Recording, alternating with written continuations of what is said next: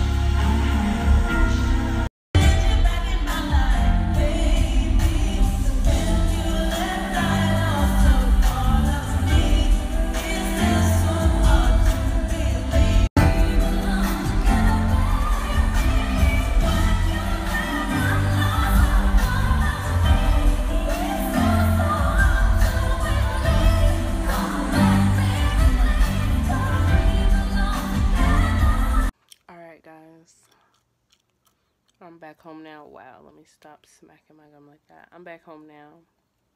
Me and my mom had so much fun. Add me on Snapchat if uh, you want to get it. if you tell me, like, hey, you can tell me, hey, remember I was broke? Hey, now I'm getting, hey.